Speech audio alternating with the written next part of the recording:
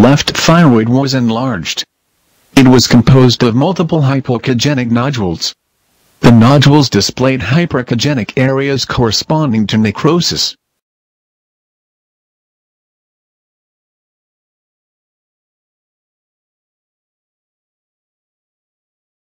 Extensive fibrosis can be seen.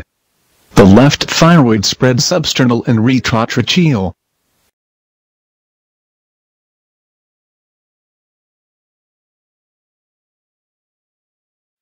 The vascularization has no relevance in the diagnosis of an anaplastic cancer, but it is usually decreased.